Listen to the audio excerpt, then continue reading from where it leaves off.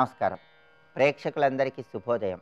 ఈనాటి శుభయోగం శీర్షికన నిత్య జీవితంలో అనేక రకాలైన సమస్యల నుంచి సులభంగా బయటపడటానికి లలితా అమ్మవారికి సంబంధించిన ఎలాంటి ప్రత్యేకమైన నామాలు చదువుకోవాలో పరిశీలిద్దాం. లలితా సహస్రనామంలో లలితా అమ్మవారికి సంబంధించిన శక్తివంతమైన నామాలు అనేకం ఉన్నాయి. వాటిల్లో అత్యంత శక్తివంతమైన నామం ఓం భద్రప్రియాయై నమ. ఇది లలిత అమ్మవారికి సంబంధించిన శక్తివంతమైన నామం. ఈ నామాన్ని శుక్రవారం నుంచి ప్రారంభించి ప్రతిరోజు చదువుకుంటే లలిత అమ్మవారి అనుగ్రహం వల్ల విశేషమైన శుభ ఫలితాలు కలుగుతాయి. ఈ నామంలో ఉన్న అంతరార్థం ఏంటంటే భద్రప్రియ అంటే లోకాలకు శుభాన్ని కలిగింపజేసేది అని అర్థం. మంచి పనుల మీద ఆసక్తి కలిగినది అని అర్థం.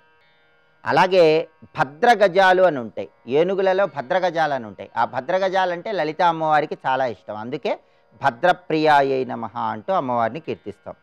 అలాగే భద్ర అంటే గురువులు అనే అర్థం కూడా ఉంది. మంత్రాలను అధ్యయనం చేసి మంత్రసిద్ధి పొందినటువంటి గురువులను అమ్మవారు అనుగ్రహిస్తుంది. అలాంటి గురువులంటే అమ్మవారు ఎంతో ప్రీతిని కలిగి ఉంటుంది. అందుకే ఆ తల్లిని భద్రప్రియాయై నమ అన్నారు. అలాగే బంగారాన్ని కూడా భద్ర అనే పేరుతో పిలుస్తారు. అమ్మవారు బంగారు ఆభరణాలు ధరించి ఉంటుంది. అందుకే భద్రప్రియాయై నమ అన్నారు. అగ్నిని కూడా భద్ర అంటారు. అమ్మవారి త్రినేత్రం అగ్నినేత్రం. అందుకే ఆ తల్లిని భద్రప్రియాయే నమ అంటారు. సూర్యుడిని కూడా భద్ర అంటారు.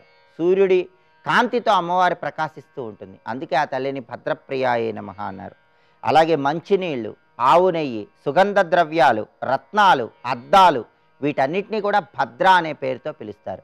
వీటన్నిటి యందు అనురాగము కలిగి ఉన్నటువంటి తల్లి కాబట్టి ఆ తల్లిని ఓం భద్రప్రియాయే నమ అంటూ మనం ఆరాధన చేయాలి. ఈ నామం చదువుకుంటే మనకు ఎలాంటి ప్రయోజనాలు కలుగుతాయి అంటే శుక్రవారం రోజు ఎవరైనా సరే ఓం భద్రప్రియాయై నమః. ఈ నామం చదువుకుంటూ లలితాదేవి చిత్రపటానికి కుంకుమతో పూజ చేసినట్లయితే జీవితంలో అశుభాలు అనేవి ఉండవని మనకి బ్రహ్మాండ పురాణంలో చెప్పడం జరిగింది. కాబట్టి జీవితంలో అశుభాలు లేకుండా శుభాలు మాత్రమే కలగాలంటే అంతా శుభమే జరగాలంటే శుక్రవారం కుంకుమతో అమ్మవారు లలితాదేవిని పూజిస్తూ ఓం భద్రప్రియాయే నమః. ఈ నామాన్ని నూట ఎనిమిది లేదా యాభై నాలుగు లేదా ఇరవై ఒక్కసార్లు చదువుకోండి. అలాగే బంగారం కొనుక్కోవాలని భావించే వాళ్ళు ఎవరైనా సరే మీ ఇల్లంతా బంగారంతో తొలతూకుతూ ఉండాలంటే మీరు కొన్న బంగారు ఆభరణాలు తొందరలోనే రెట్టింపు అవ్వాలంటే శుక్రవారం నుంచి ప్రారంభించి వరుసగా నలభై ఒక్క రోజుల పాటు ప్రతిరోజు కూడా నూట ఎనిమిది సార్లు ఈ మంత్రం చదువుతూ లలిత అమ్మవారిని కుంకుమతో పూజ చేయాలి. అప్పుడు ఇల్లంతా బంగారంతో నిండిపోతుంది. అలాగే ఎవరైనా సరే వాహనాలు కొనుక్కోవాలని భావించేవాళ్ళు పద్దెనిమిది శుక్రవారాలు ఈ మంత్రాన్ని నూట ఎనిమిది సార్లు చదువుకోవాలి. అంటే ప్రతి శుక్రవారం నూట ఎనిమిది సార్లు చొప్పున పద్దెనిమిది శుక్రవారాలు ఈ మంత్రం చదువుకుంటూ అమ్మవారికి తీపి పదార్థం నివేదించినట్లయితే తొందరలోనే వాహన ప్రాప్తిని సిద్ధింపజేసుకోవచ్చు. అందుకే ఓం భద్రప్రియాయై మహా అనేటటువంటి లలితానామం విశేషమైన శుభ ఫలితాలను కలిగింపజేస్తుంది. అలాగే ఎవరైనా సరే విద్యారంగంలో రాణించలేక ఇబ్బందులు ఎదుర్కొంటున్న వాళ్ళు విద్యారంగంలో విశేషమైన శుభ ఫలితాలు సిద్ధింపజేసుకోవాలంటే జ్ఞాపక శక్తిని పెంపొందింపజేసుకొని విద్యారంగంలో రాణించాలంటే లలితా అమ్మవారికి సంబంధించిన ఇంకొక ప్రత్యేకమైన నామాన్ని శుక్రవారం రోజు నూట ఎనిమిది సార్లు చదవాలి. ఆ నామం ఏంటంటే ఓం నిష్కలాయై నమః ఇది నామం. కళ అంటే అవయవములు కలిగినది అని అర్థం. నిష్కళ అంటే ఎలాంటి అవయవములు లేనిది అని అర్థం. ఎలాంటి అవయవములు లేని అమ్మవారు అంటే అర్థం ఏంటంటే పరబ్రహ్మ స్వరూపం అని అర్థం. నిర్గుణ ఓంకార స్వరూపం అని అర్థం. అమ్మవారు నిర్గుణ ఓంకార పరబ్రహ్మ స్వరూపంలో భక్తులను అనుగ్రహిస్తుందన్న అర్థంలో ఓం నిష్కలాయై నమః అనేటటువంటి నామాన్ని లలితా సహస్రనామంలో చెప్పడం జరిగింది.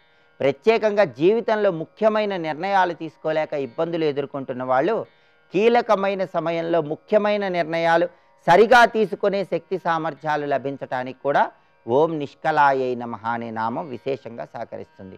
విద్యార్థులు విద్యారంగంలో అద్భుతంగా రాణించాలన్నా పోటీ పరీక్షల్లో అత్యున్నత స్థాయిలో రాణించాలన్నా అలాగే జీవితంలో కీలకమైన సమయాల్లో ముఖ్యమైన నిర్ణయాలు తీసుకోవాలన్నా సరైన నిర్ణయాలు తీసుకోవాలన్నా ఓం నిష్కలాయే నమః. ఈ నామం అనేది విశేషంగా సహకరిస్తుంది. శుక్రవారం సందర్భంగా ఇలా లలితా అమ్మవారికి సంబంధించిన ప్రత్యేకమైన నామాలను జపం చేసుకుంటూ లలితా అమ్మవారి చిత్రపటానికి కుంకుమార్చన చేయండి. లలితా అమ్మవారి అనుగ్రహం వల్ల అన్ని రకాలైన సమస్యల నుంచి సులభంగా బయటపడండి. రేపటి శుభయోగం శీర్షికన మాస శివరాత్రి సందర్భంగా ఎలాంటి విధి విధానాలు పాటించాలో తద్వారా ఎలాంటి ప్రయోజనాలు సిద్ధింపజేసుకోవచ్చో పరిశీలిద్దాం. నమస్కారం. అద్భుత విగ్రహామరాధీశ్వర అగణిత గుణగణ అమృత శివ. సాంబ సదా శివ సాంబ సదా శివ సాంబ సదా శివ సాంబ శివ. జీవులందరూ దేన్ని చేరి విశ్రాంతి పొందుతారో అదే శివతత్వము అన్నాడు. నిజమైన విశ్రాంతి అక్కడ మాత్రమే ఉన్నది ఇంకెక్కడా లేదు. మిగిలిందంతా నానారూప వికార జనితమైన సంసార వృక్ష వృక్షమే. పరమేశ్వరుడే నిర్వికారమైన శాంతమైన అమృతస్థాణు వృక్షము. వృక్ష ఇవ స్తబ్ధో దివి తిష్టత్యేక అని వేదమాత ఈ మాటనే చెప్తుంది ఇక్కడ. పరమేశ్వరుడు అటువంటి మహావృక్షస్వరూపుడు స్థాణుస్వరూపుడు.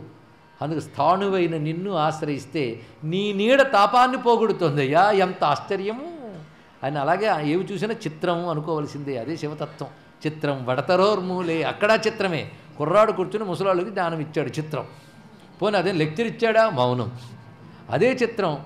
అలాగే మోడు అయ్యో ఎవరూ పోగొట్టలేని తాపాన్ని పోగొడుతుంది. ఎందుకంటే పెద్ద పెద్ద చెట్లున్న తోటల్లో తిరిగినా సంసార తాపం పోవట్లేదు.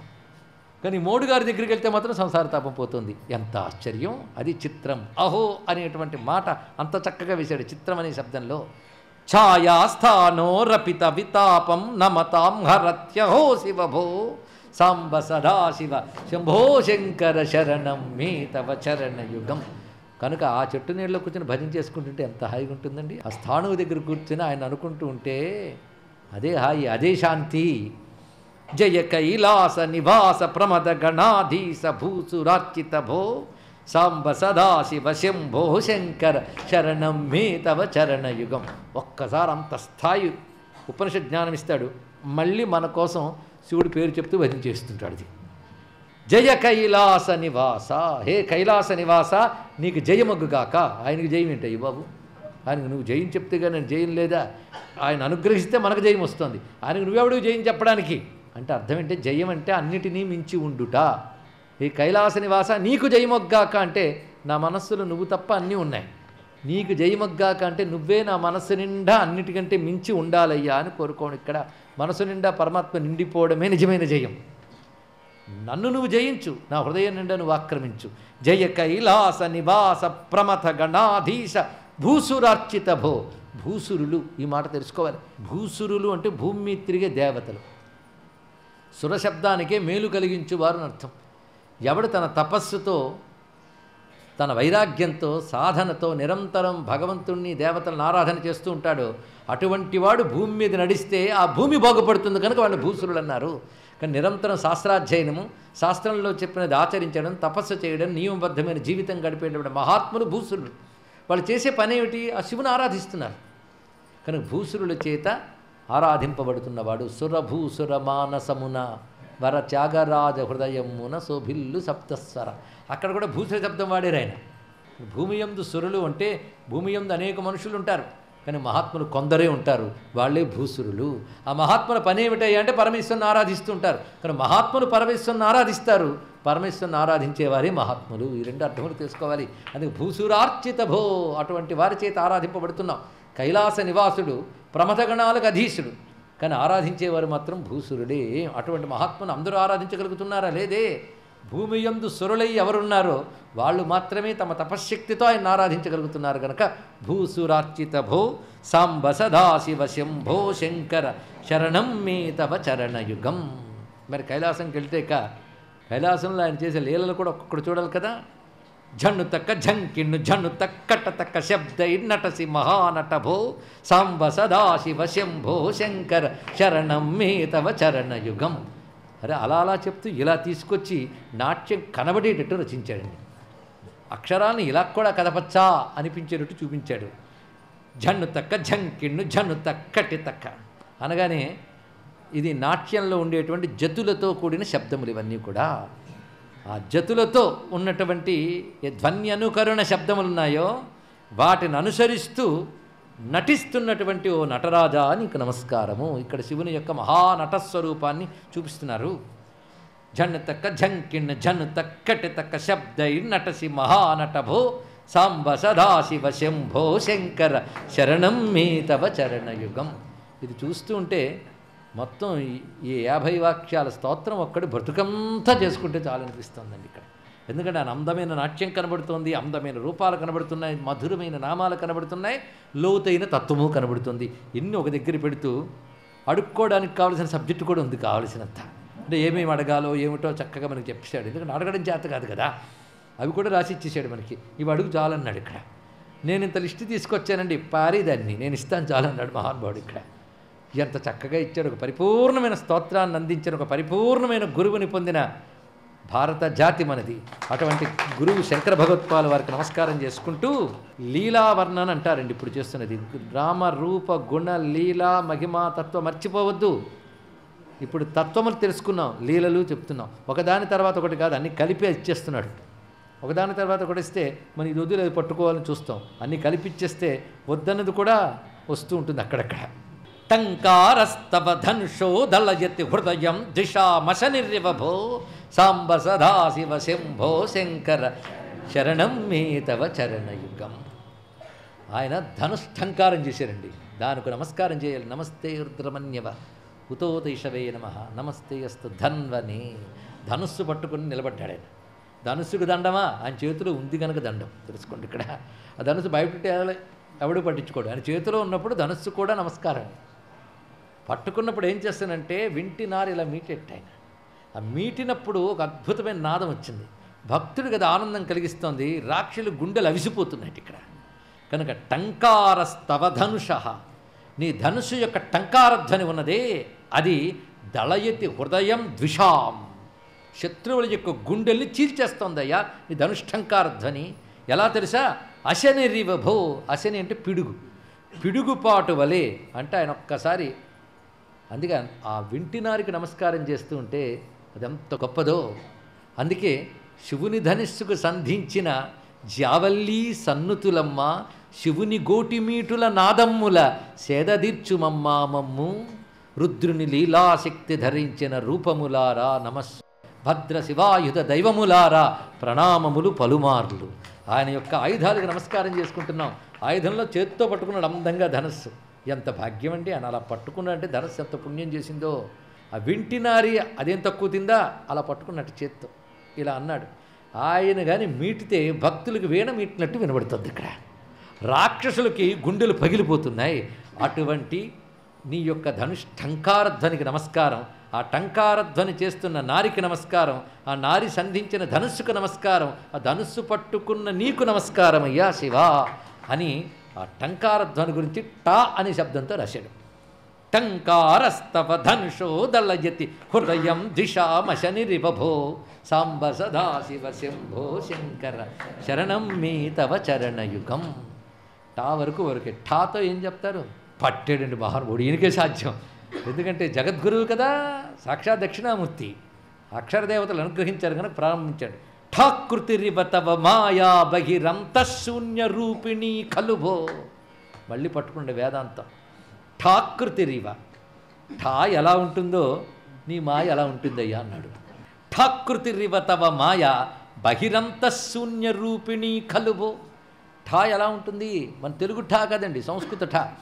తెలుగు ఠాలో మధ్యలో పొట్ల చొక్క పెడతాం మనం. సంస్కృత ఠా ఎలా ఉంటుందంటే ఒక్క వృత్తమే పైన కొయ్య. అంతే ఇంతే. చుట్టారుగా లోపలేముంది ఏమీ లేదు. బయటే ఉంది. ఏమీ లేదు. ఒక్క గీత గీసినంత మాత్రం ఏదో ఉన్నట్టు కనబడింది. చూశారు ఇక్కడ? కానీ లోపల బయట ఏమీ లేదయ్యా అదే నీ మాయ అన్నాడు. ఒకటే మాట. ఎంత అద్భుతంగా చెప్పాడు ఇక్కడ. ఒక్క గీత పట్టుకోవడం వల్ల లోపల ఏదో ఉన్నట్టుంది. ఏమీ లేదు. ఒక్క శరీరం పట్టుకున్నప్పుడు వల్ల లోపల ఏదో ఉంటుంది ఏమీ లేదయ్యా ఉందనిపించే భ్రాంతి మాత్రమే ఉంది. ఇది తెలుసుకో. కానీ బహిరంత శూన్యమైనటువంటిది మాయా అన్నాడు ఇక్కడ. ఏమీ లేదు అది మాయ. ఉందండి అయితే పరమేశ్వరుడు తెలుసుకోండి ఇక్కడ. సర్వం శ్రీ విశ్వనాథ చరణారవిందార్పణమస్తు. స్వస్తి.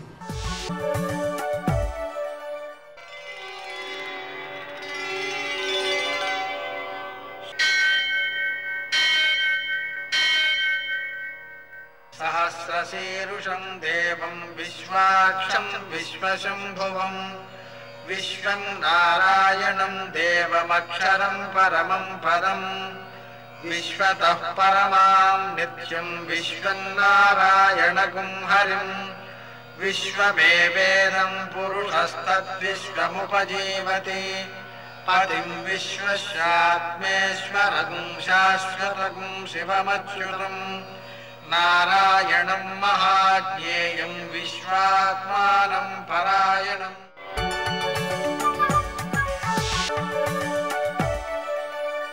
सूर्यशौर्यमथेन्दुरिन्द्रपदवी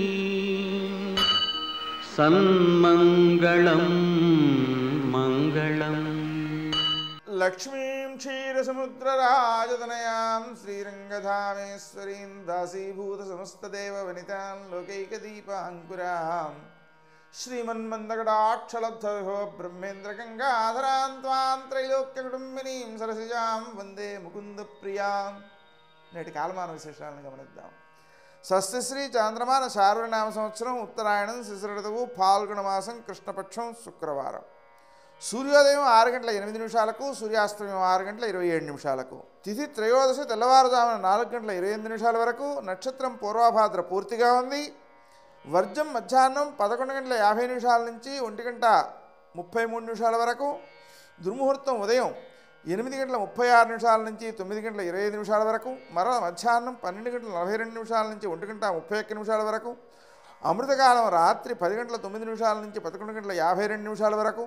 రాహుకాలం శుక్రవారం కాబట్టి ఉదయం పదిన్నర నుంచి పన్నెండు గంటల వరకు అష్టకవర్గు రీత్యా శుభప్రదమైన సమయం ఉదయం ఎనిమిది గంటల ముప్పై నిమిషాలకి.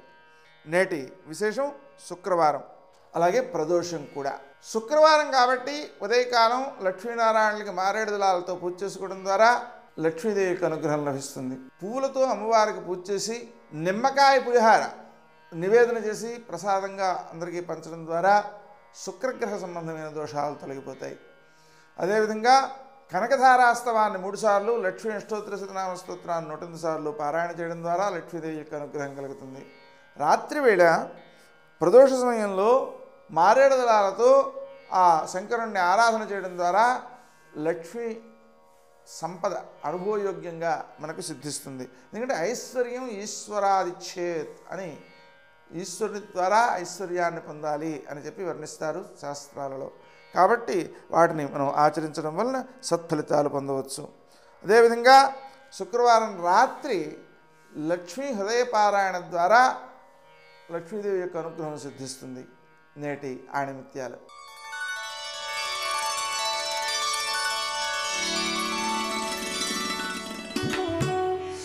జ్ఞానం బావిలో నీళ్ళ లాంటిది. అవి తరగని నిధులు. వాడే కొద్దీ ఊరుతూనే ఉంటాయి.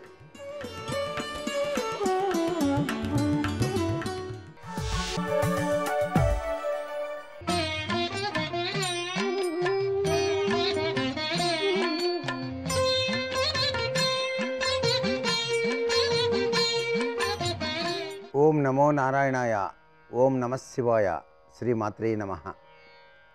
పాల్గొన్న శుక్రవారం లక్ష్మీ కటాక్షానికి చాలా విశిష్టవంతమైన సుదినం. తులసి చెట్టు యొక్క ప్రభావం అద్వితీయమైన అనిర్వచనీయమైనటువంటి అదృష్టాన్ని ప్రసాదింపజేస్తుంది. ప్రతి ఒక్కరూ కూడాను తులసి మాతను తప్పనిసరిగా కొలిచి తీరాల్సిందే. తులసి చెట్టుకు చుట్టూతా కూడాను ఆ యొక్క కోటకు మిగతా విగ్రహాల యొక్క ఆకృతులు ఏమీ కూడా ఉండకూడదు. కేవలం తులసి కోటకు ఒక ఆ కోటలో దీపాన్ని వెలిగించేందుకు వీలుగా గూడు మాత్రమే ఏర్పాటు చేసుకోవాలి. ఆ గూటిలో నిత్యం కూడాను దీపారాధన గనక ప్రతి ఇల్లాలు కూడాను ఉదయము సాయంత్రము ఆచరించినట్లయితే లక్ష్మీ కటాక్ష సిద్ధి వచ్చి తీరుతుంది. ప్రతి ఇంటిలో కూడాను తులసి మాతను ప్రతి ఒక్క ఇల్లాలో కూడాను ప్రతినిత్యం కూడా ఆరాధన చేయవలసిందే. సౌభాగ్య సిద్ధి కోసం అద్వితీయమైన సంపదల కోసం తులసి చెట్టును ఆరాధన చేయటం మన భారతీయ సనాతన సంస్కృతి సంప్రదాయంలో ప్రముఖ స్థానం వహించింది. తులసి చెట్టు యొక్క గాలి నుంచి అనారోగ్య సమస్యల నుంచి రక్షింపజేసుకోవడానికి కూడా ఆస్కారం ఉంటుంది. అంతేకాకుండా తులసి కోట ముందు విష్ణుదేవునికి ప్రీతికరమైనటువంటి శంకుచక్ర ముగ్గు వేసి ఆ ముగ్గు మధ్యలో గనక నిత్యం గనక దీపారాధన ఆచరించడం వలన దీపం జ్యోతి పరబ్రహ్మ తత్వరీత్యా ఆ ఇంట అనేక రీతులలో అదృష్టలక్ష్మి దేదీప్యవంతమైన అనుగ్రహాన్ని ప్రసాదింపచేస్తుంది. తులసి కోటలో ప్రతినిత్యం కూడాను ఒక గ్లాసుడు నీళ్ళు పోసి నమస్కారం చేసినా చాలు. అద్వితీయమైన ఆరోగ్యప్రదమైన ప్రభావం ఆ ఇంటిల్లిపాదికి కూడాను కలిగి తీరుతుంది. తులసి ఔషధీయుక్తమైన గుణాలు కలిగినటువంటి అమృత సంజీవనిగా కూడా మనకు సహకరిస్తుంది కాబట్టి ఆరోగ్యపరంగా ఐశ్వర్యపరంగా ప్రతి ఒక్కరూ కూడాను తులసి మాతను ఆరాధన చేయవలసిన పరిస్థితి తప్పనిసరిగా గుర్తుపెట్టుకోవాలి. సనాతన సంప్రదాయ రీత్యా ఏ ఇంట ముంగిట కానీ వెనుక భాగాన కానీ తులసి కోట ఉన్నట్లయితే ఆ ఇళ్ళు లక్ష్మీ నిలయంగా మారుతుంది అంటోంది శాస్త్రం. సర్వే జన సుఖినో భవంతు. ఆదిత్య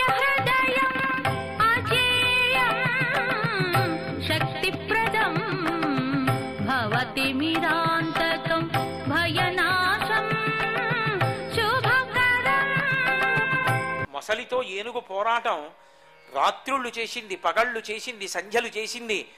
ఇన్ని కోట్ల జన్మలలో ఎన్ని మాటలు శరీరం విడిచిపెట్టినప్పుడు రాత్రి పోరాటం చేసి వదిలేవో పగలు పోరాటం చేసి వదిలేవో సంధ్యాకాలంలో వదిలేవో ఎన్ని మాటలు వదిలేశాము. శరీరాన్ని విడిచిపెట్టి శరీరాన్ని పొందుతూనే ఉన్నావు.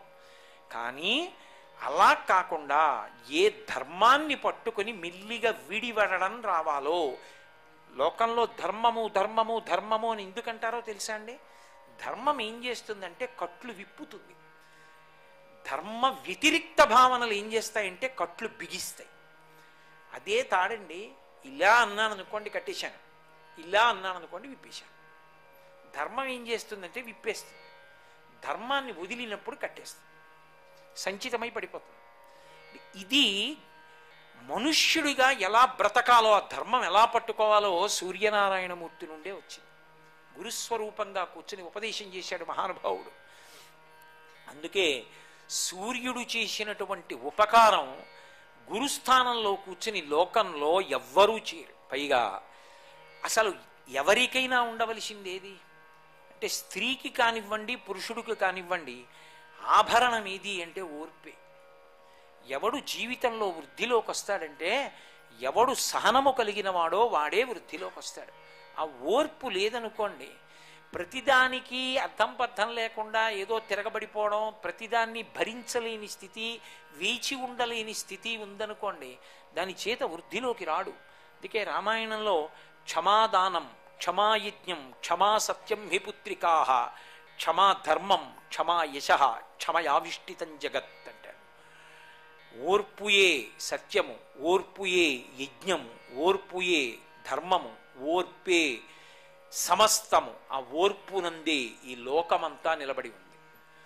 అటువంటి ఓర్పు నేర్చుకోవాలి అంటే సూర్యనారాయణమూర్తిని చూసి నేర్చుకోవాలి. ఎందుకని? ఆయనకి ఉన్నటువంటి పరికరములను మీరు బాహ్యంలో చూడండి ఆయన చేసేటటువంటి పని చూడండి. అసలు రెండిటికి ఏమైనా సమన్వయం ఉంటుందా?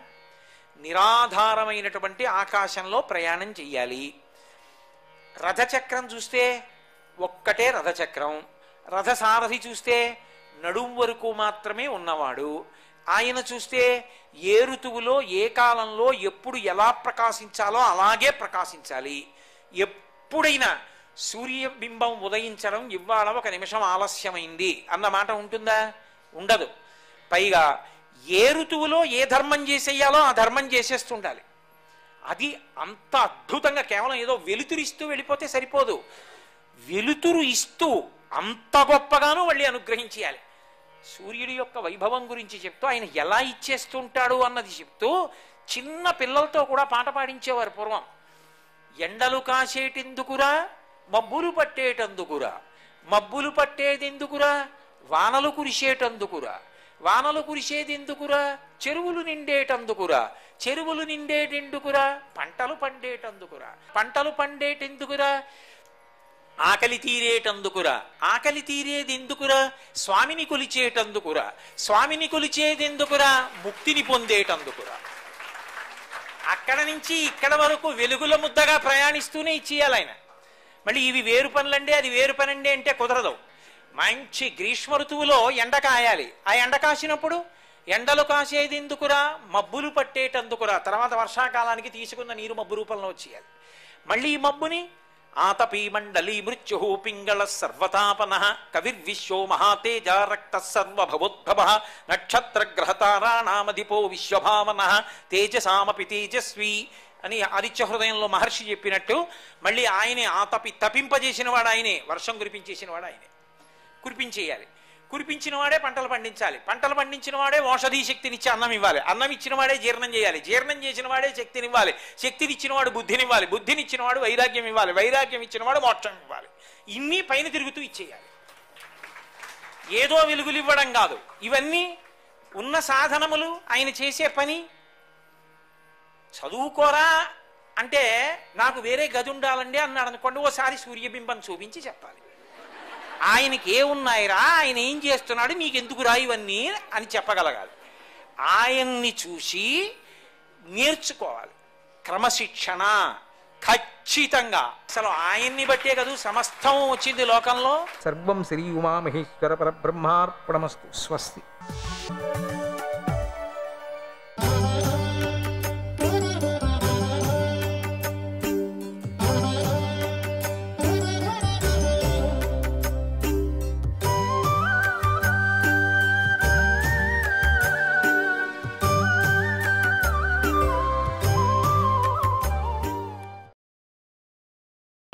చూడు.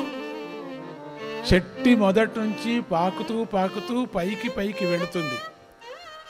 అలసిపోకుండా హాయిగా జాగ్రత్తగా మెల్లమెల్లగా ప్రయాణం సాగించి ఫలాన్ని అందుకుంటుంది చీమ.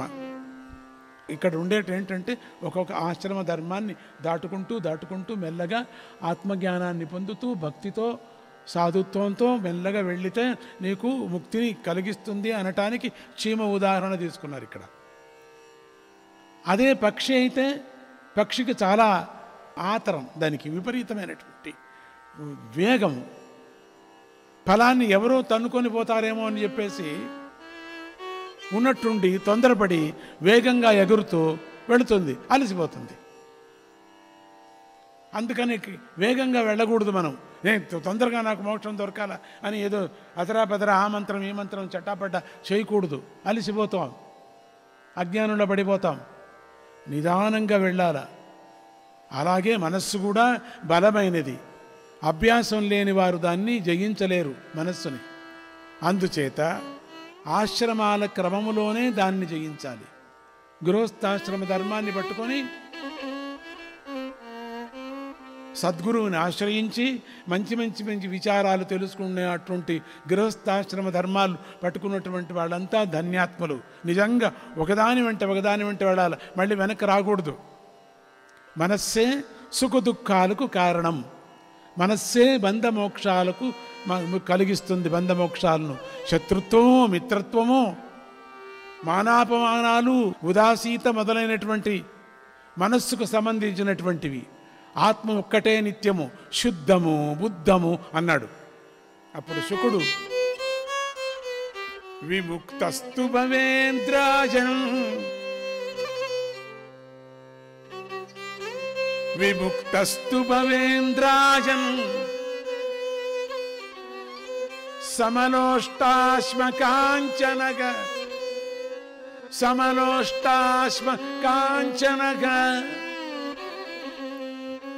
ఏకాత్మబుద్ధి ఏకాత్మ బుద్ధి సర్వత్ర. ఏకాత్మబుద్ధి సర్వత్ర. హితకృత్స సర్వజంతుషు. హితకృత్స సర్వజంతుషు. ఓ రాజా విముక్తుడంటే మట్టి చెక్కను బంగారు ముక్కను ఒకేలాగా చూస్తూ అంతటా సమబుద్ధిని కలిగి సకల ప్రాణికోటిని మేలు చేసేవాడు కదా వాడే. వాడికి ఏమీ లేదు. వాడికి దిబ్బ ఒకటే సింహాసనం ఒకటే. అంతే. అంతా ఒకటే.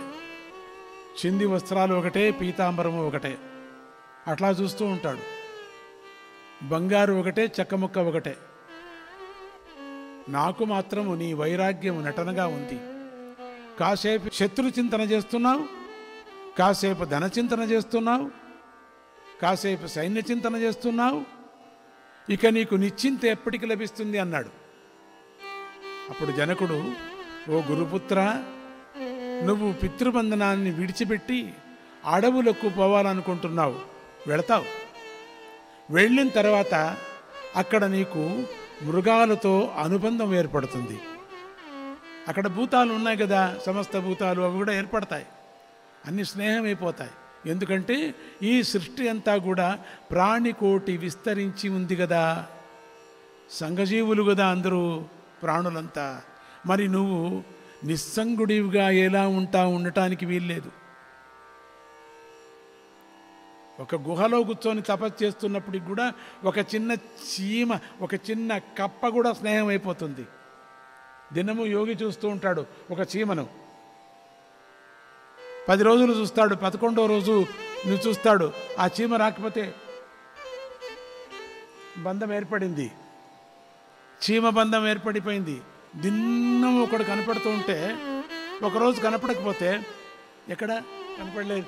ఒక అలవాటు అయిపోతుంది. ఎక్కడవుతుందయ్యా నీకు? అన్ని చోట్ల నీకు బంధం ఉంది. ఎక్కడ ఆహారం కోసమైనా దేనికైనా నీకు చింత ఉంటూనే ఉంటుందా. నువ్వు పడాల్సిందే కదా ఆహారం కోసం. మరి నువ్వు నిశ్చింతుడు ఎలా అవుతావయ్యా? వనాల్లో ఉంటున్నా కూడా దండము కృష్ణాజనము కాపాడుకోవాలనే చింత నీకు ఉంటుంది ఎప్పుడు కూడా అదే దాన్నే పక్కలో పెట్టుకుంటుంటావు.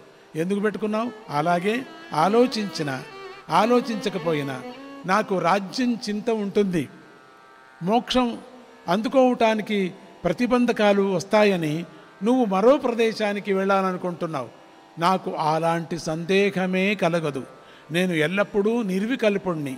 హాయిగా ఉన్నది తింటాను. సుఖంగా నిద్రపోతాను. నేను బద్ధుడిని కాను అనే జ్ఞానం నాకు ఉంది.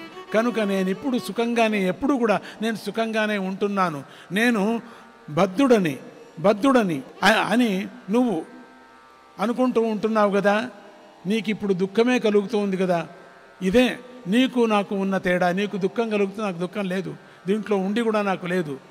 ఈ ఈ తేడాను గమనించు. నేను బద్ధుడిని అనుకోవటం మాను. నువ్వు బద్ధుడు అనే మాను మాను. నేను బద్ధుడిని కాను అనేటువంటి జ్ఞానాన్ని కలిగి ఉండు. నాకు అంటుకుంటుంది అంటుకుంటుంది అనుకోకుండా ఉండును. దేహోయం మమ బంధోయం దేహోయం మమ బంధోయం నమమేతి చ ముక్తత. నమమేతి చ ముక్తత. తతాదనం గృహం రాజ్యం తతాదనం గృహం రాజ్యం నమమేతి చ నిశ్చయ. నమమేతి చ నిశ్చయ. ఈ దేహం నాది కాదు ఈ బంధం నాది కాదు అని నిగ్రహించడమే ముక్తత్వము. అలాగే ఈ ధనం ఈ గృహం ఈ రాజ్యము ఇవే కూడా నావి అవి కావు అనుకోవటమే ముక్తత్వం అన్నాడు జనక మహారాజు. శుక మహర్షికి సంతృప్తి కలిగింది. సందేహాలు తీరాయి. సంతోషంగా ఇంటికి వచ్చి వ్యాస మహర్షి చూపించినటువంటి పీవరి అనే కన్యను పెళ్ళి చేసుకున్నాడు. పీవరి సుఖ దంపతులకు కృష్ణుడు గౌరవప్రదుడు భూరి దేవశ్రుతుడు అనే కుమారులు కలిగారు. కీర్తి అనే కూతురు కూడా కలిగింది. ఆ కూతురును అణువుడికి ఇచ్చి వివాహం చేశాడు. వారికి బ్రహ్మదత్తుడనే పుత్రుడు పుట్టాడు. నారదోపదేశంతో ఆ బ్రహ్మదత్తుడు మహామాయా బీజాన్ని జపించి బ్రహ్మజ్ఞాని అయ్యాడు. రాజ్యాన్ని కొడుకుకు అప్పగించి బదరికాశ్రమానికి వెళ్ళి యోగ మార్గంలో ప్రాణాన్ని విడిచిపెట్టాడు. శుక మహర్షి కూడా నారద మహర్షి ఉపదేశాన్ని పొంది పితృబంధాన్ని తెంచుకొని కైలాస శిఖరానికి చేరుకున్నాడు. ఒకనాడు ధ్యానంలో మునిగిపోయి యోగ బలంతో సూక్ష్మ శరీరంలో ఆకాశానికి ఎగిరి సిద్ధిని పొంది సూర్యుడిలాగా వెలిగిపోయాడు. ఆయన స్థూల శరీరం గిరిశిఖరంపై రాలిపోయింది. వ్యాస మహర్షికి ఈ విషయం తెలిసి పుత్రశోకాన్ని తట్టుకోలేక కొండ గుహలు ప్రతిధ్వనించేలాగా పుత్రా పుత్ర అంటూ తిరిగాడు. వ్యామోహం వదల్లేడు. వ్యాసుడు తిరుగుతూనే ఉన్నాడట. ప్రతిధ్వనించాయట అక్కడ ఉండేటువంటి చెట్లు చెట్లు గుహలు గు- ఆయన్ను చూసి శివుడి జాలిపడి క్రిందికి దిగొచ్చి ఓ మహర్షి బాధపడకు. నీ పుత్రుడి మీద నీ పక్కనే ఉంటుంది. నీ నీడ పుత్రుడు యొక్క నీడ నీ పక్కలో ఉంటుంది. దానిని చూసి సంతోషించని వరమిచ్చాడు. మాయమైపోయాడు. వ్యాస మహర్షి పుత్రుడి నీడను చూసి సంతోషించి తన ఆశ్రమానికి వెళ్ళిపోయాడు. ఇది సుఖమహర్షి యొక్క చరిత్ర. వేదంలో చెప్పినట్లుగా ధర్మాలను క్రమక్రమంగా ఆచరించాలి. అదే అన్ని విధాల భద్రమైన మార్గము. ఆ మార్గములో నడిచిన మానవులు ముక్తిని పొందుతారు అని ఈ కథలో చెప్పబడిన ధర్మ విషయాన్ని గ్రహించాలి. వ్యాస మహర్షి తన శిష్యులైన అసితుడు దేవలుడు పైలుడు వైసంపాయనుడు జైమిని సుమంతులకు విద్యను ధారపోసి ధర్మరక్షణ చేయమని పంపాడు. తర్వాత ఆయనకు తన తల్లి సత్యవతీదేవి జ్ఞాపకం వచ్చింది. గంగ ఒడ్డుకు గల కృష్ణ ద్వీపానికి వెళ్ళి విస్తారంగా వెళ్ళి విచారించాడు అన్ని చోట్ల వెతికి. దాశరాజు తన కూతురు సత్యవతిని శంతన మహారాజుకి ఇచ్చి పెళ్ళి చేశాడని పల్లెవారు చెప్పారు. వ్యాస మహర్షి తిరిగి తన ఆశ్రమానికి వచ్చి తపస్సులో మునిగిపోయాడు. హస్తినాపురంలో కురువంశం వృద్ధి చెందింది. వ్యాస మహర్షి అనుగ్రహంతో అంబికకు ధృతరాష్ట్రుడు పుట్టాడు. అంబాలికకు పాండురాజు పుట్టాడు. దాసికి విదురుడు పుట్టాడు. ఇలా దేవీ ఉపాసకుడైన వ్యాస మహర్షి వారి జన్మకు కారకుడై యయాతి వంశాన్ని నిలబెట్టాడు. శౌనకాది మునులకు సత్యవతి పుట్టుక వ్యాస మహర్షి పుట్టుక గురించి తెలుసుకోవలసి వచ్చింది. ఆ కథను చెప్పమని అడిగారు. అప్పుడు సూత మహర్షి అమ్మవారిని ప్రార్థించాడు. ప్రణమ్య పరమాం శక్తి. ఆ ప్రణమ్య పరమాం శక్తిం. चतुर्वर्ग प्रदायिनी चतुर्वर्ग प्रदायिनी आदिशक्ति वदिष्यामी। कथा पौराणिकी शुभ। कथा पौराणिकी शुभा। शुभा। ఓ మునివర్యులారా ధర్మార్థకామ మోక్షాలను ప్రసాదించే ఆదిశక్తికి నమస్కారం చేసి మీరు అడిగిన పురాణగాథను చెబుతాను. ఏ వంకతో అయినా ఆ పరాశక్తి పేరు తలిస్తే చాలు. వాక్ శక్తి సిద్ధిస్తుంది.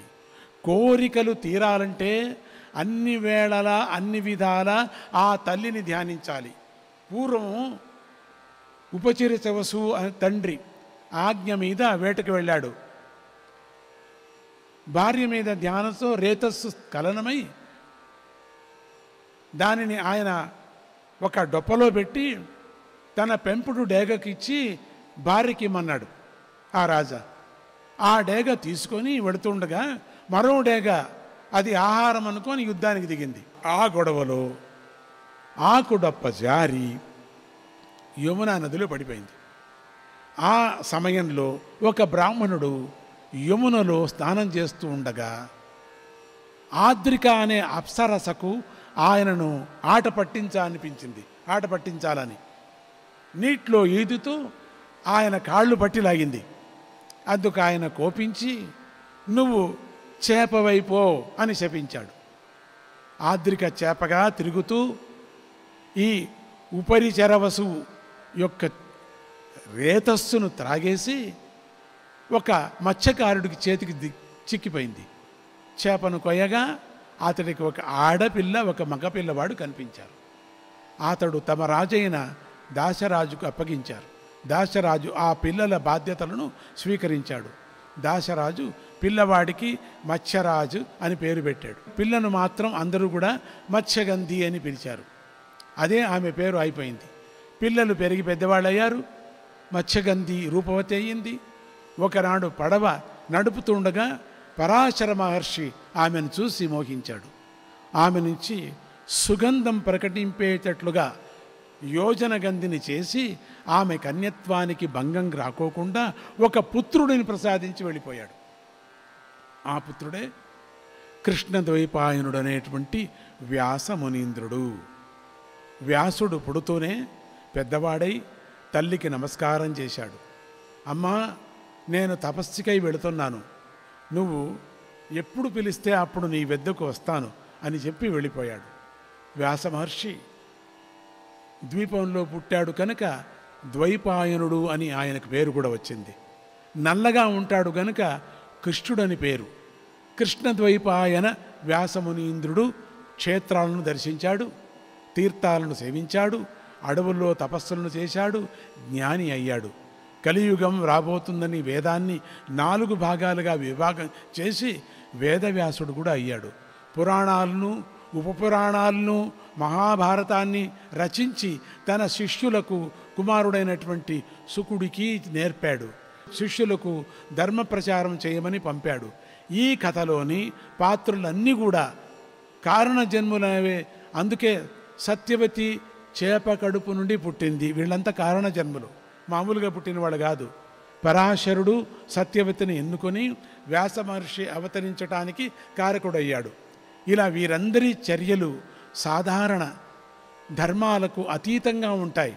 అందుచేత వీరి చరిత్రలు వింతగా కూడా మనకు కనిపిస్తుంటాయి. కానీ సూక్ష్మాన్ని గ్రహిస్తూ మహాత్ముల చరిత్రను అర్థం చేసుకోవాలి. మహతాం చరితే చైవ గుణాగ్రాహ్యాం మహాత్ముల చరిత్రలో సుగుణాలను మాత్రమే గ్రహించాలి. వారు చేసే కార్యాలు దైవాజ్ఞ ప్రకారమే ఉంటాయి. జితేంద్రియులైన వారికి ఇంద్రియ సుఖాలపై వ్యామోహం ఉండదు. భగవదావతార రహస్యాలు నిగూఢంగా ఉన్నట్లుగానే భగవదాజ్ఞతో నడుచుకునే వారి రహస్యాలు నిగూఢంగానే ఉంటాయి. మహాత్ముల చరిత్రలు లోకానికి మేలు చేకూరుస్తుంది. ఉంటాయని మనకి ఈ ఘట్టం బాగా తెలుపుతూ ఉన్నది శ్రీమాత్రే నమః.